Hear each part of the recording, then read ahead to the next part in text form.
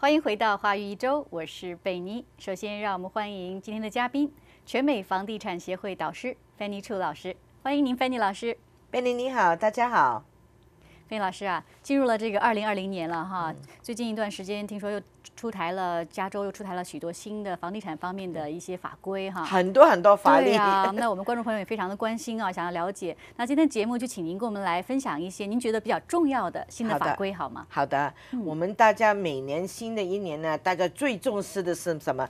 交通罚款的，对，通常这个是最最呃，人家最重要的。是的。但是我呃，在这一个平台呢，我们讲房呃房地产，所以我们就呃提醒大家一些呃比较重要要注意的一种，好吗？呀啊，普通你们都不会去留意的哈。这个呃，我选择的就有两个重要的来源啊。第一个呢是 CAR，CAR 就是。房地呃，加州房地产协会，大家都可以看到哈。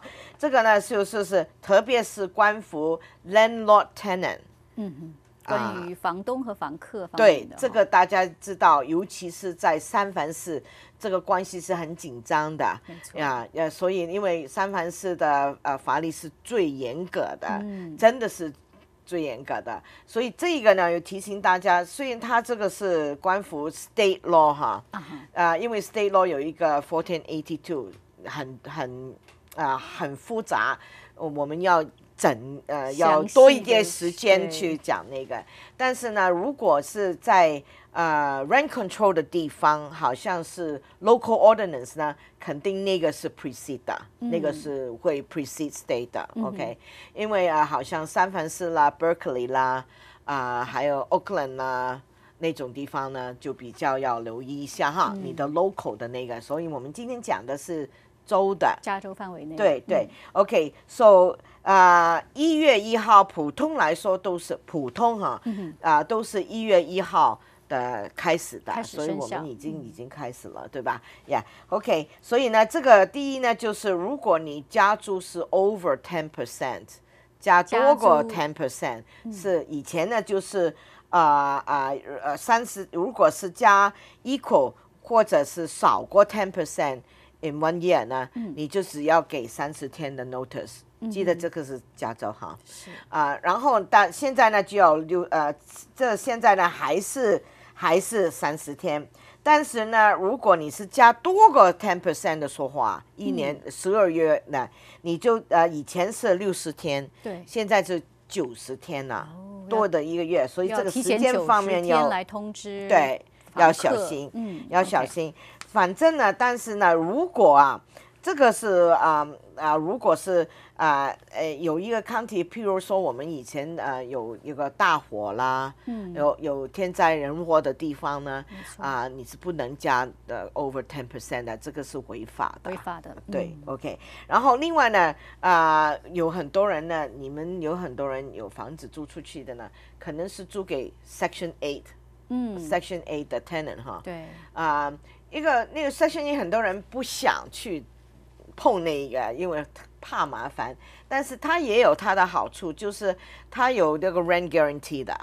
呀，因为他只是收那个 tenant 一个 portion，然后其他都是有有呃那个政府那个来来填上去，所以但是现在呢，就说啊啊这个哈可以做跟不可以做，所以那个要小心哈，嗯。啊呀。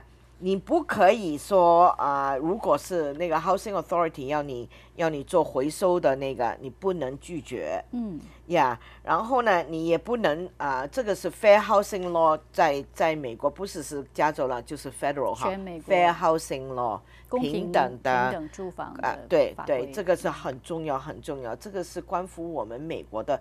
啊，法律哈，精神在那个，所以要小心哈。这个我们不能 discriminate，不能对啊 Section A 的跟跟其他的啊对他们的呃不能不公平的待遇是不能的。OK，但是呢，这所以他，但是你可以是。呃啊，但是你现在呢，你不能用他的以前一直是你可以用他的 income 说我不租给你，因为你你不够钱，嗯，付我的租，OK。但是现在你要小心的就是，你只可以凭呃考虑这个呢，是关乎他要付的部分，你不不可以说我整个租金的是怎么样，只可以考虑到他那个房房客客要要付的那个部分来可来做啊。可以不可以的决定那个决定哈，这个要小心。另外呢，就是 military，好像就是呃 veteran，就是呃退伍的军人，或者是在、呃或者是在服役的，嗯他们都有特别的的呃 protected。